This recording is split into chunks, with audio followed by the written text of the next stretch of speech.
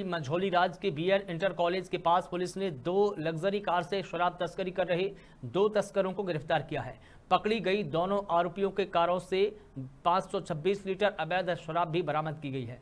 यह शराब तस्करी कर बिहार से ले जाई जा रही थी। पुलिस ने दोनों तस्करों के खिलाफ में केस दर्ज कर लिया है। उनसे पूछताछ भी लगातार की जा रही है।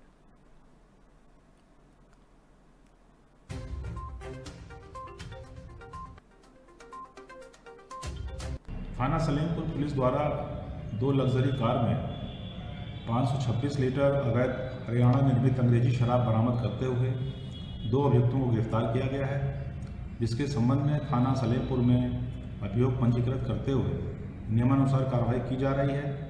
कुल बरामदगी लगभग इकतालीस लाख रुपए की है।